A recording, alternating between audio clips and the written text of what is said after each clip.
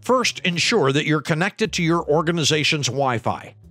Then go to the Google Play Store and type Mobility Print in the search bar. Tap on Mobility Print and then install. Once the download is complete, go to the app and press Android Settings. Enable Mobility Print by sliding the switch over. It may already be on. Congratulations, you're ready to print. Open your document, press Print, and choose the printer you'd like to use.